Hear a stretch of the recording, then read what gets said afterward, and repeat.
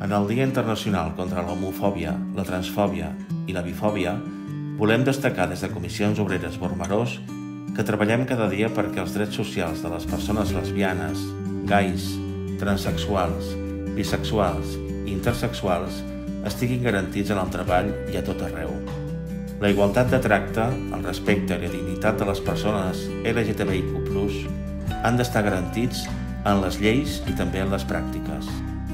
Per combatre la discriminació directa o indirecta per raó d'orientació sexual i d'identitat de gènere en l'àmbit laboral, Comissions Obreres Bormarós compta amb els companys i companyes que volen accelerar el camí cap a una societat lliure de discriminacions i LGTBI-fòbiques. La solidaritat és l'únic camí perquè els representants sindicals i els treballadors dels sectors públics i privats puguin fer front a tota forma d'opressió.